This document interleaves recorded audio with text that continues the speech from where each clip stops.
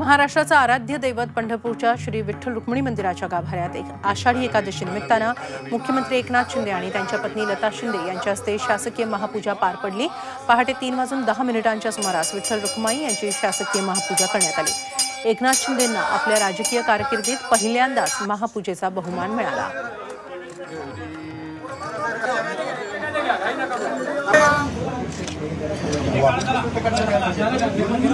एकनाथ शिंदे यांच्या नावावर एक वेगळा विक्रम झाला मुख्यमंत्र्यांचे वडील संभाजी शिंदे स्वतः एकनाथ शिंदे त्यांचा मुलगा खासदार श्रीकांत शिंदे आणि मुख्यमंत्र्यांचा नातू रुद्रांश अशा चार पिढ्यांनी विठुरायाचं पूजन केलं. मुख्यमंत्र्यांच्या घराण्यातल्या चार पिढ्यांनी एकत्र येऊन विठुरायाचं पूजन करण्याचा हा विक्रम झालाय.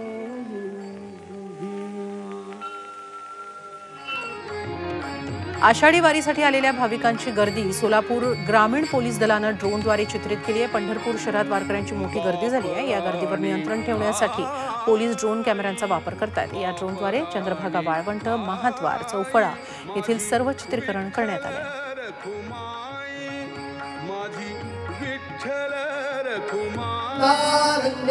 आषाढी एकादशी निमित्त साई समाधीला आकर्षक फुलांची सजावट करण्यात आली. विठ्ठलाची प्रतिमा समाधीवर ठेवून साईबाबांच्या मूर्तीला तुळशीची माळ आणि सुवर्ण आभूषण चढवण्यात आली. एरवी वर्षभर साईबाबांना फुलांची माळ घातली जाते. मात्र फक्त आषाढी एकादशीलाच साईबाबांना तुळशीची माळ घालण्यात येते.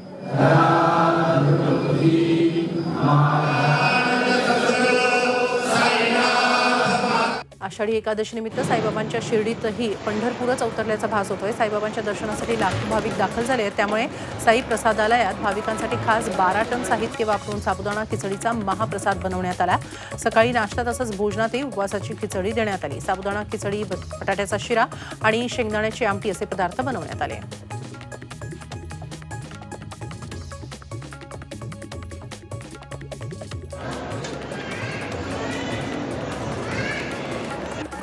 अहमदनगरच्या पारनेर तालुक्यातील पळशीमध्ये आषाढी एकादशी निमित्त भाविकांनी मोठी गर्दी केली. पळशीतील विठ्ठल रुक्मिणीच्या पुरातन मंदिराची प्रति पंढरपूर अशी ओळख आहे.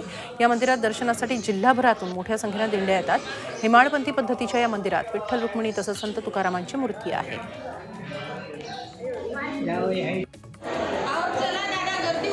येवला तालुक्यातील प्रति पंढरपूर म्हणून ओळखल्या जाणाऱ्या कोटमगाव इथं आषाढी एकादशीनिमित्त शेकडोंच्या संख्येनं दिंड्या दाखल झाल्यात. भर पावसात लाखो वारकरी दर्शनाचा लाभ घेत आहेत. विठुराया द्वारकेला जाताना कोटमगाव बुद्रुक इथं मुक्कामी थांबले होते. त्यामुळे इथल्या मंदिरामध्ये मूर्तीचा एक हात कटेवर आहे तर दुसरा खाली असल्याची आख्यायिका आहे.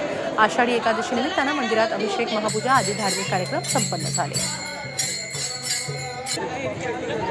पुण्यातही प्रति पंढरपूर म्हणून ओळखल्या जाणाऱ्या सिंहगड रोडवरील मंदिरात आज पहाटेपासूनच भाविकांनी दर्शनासाठी गर्दी केली होती. मंदिरालाही फुलं आणि विद्युत रोषणाईनं सजवण्यात आलं. मंदिराबाहेर भाविकांनी मोठी रांग लावली होती. दोन वर्ष कोरोनामुळे मंदिर बंद होतं. यंदा मात्र निर्बंधांविना आषाढी एकादशी साजरी करता येत असल्यानं भाविकांमध्ये निराळा उत्साह आहे.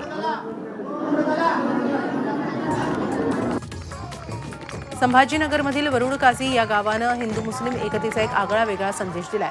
गावात आषाढीनिमित्त दिंडीचं आयोजन करण्यात आलं. या दिंडीत मुस्लिम बांधवांनीही सहभाग घेतला. यावेळी मुस्लिम बांधवांनी वारकऱ्यांसोबत फुगडी खेळण्याचा आणि टाळ मृदुंगाचाही आनंद घेतला.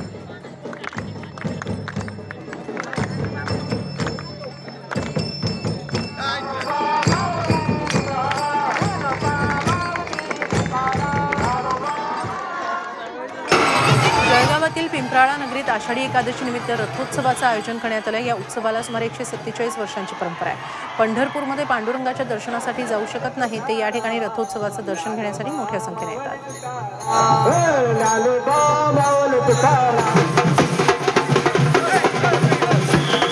आषाढी एकादशी निमित्त रत्नागिरीतील प्रति पंढरपूर म्हणून ओळख असलेल्या विठ्ठल मंदिरात भक्तांचा जनसागर ओसंडून वाहत असल्याचं पाहायला मिळालं.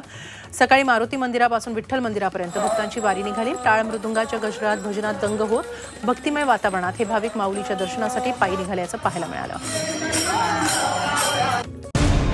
मराठ्यांची तळपती तलवार म्हणजे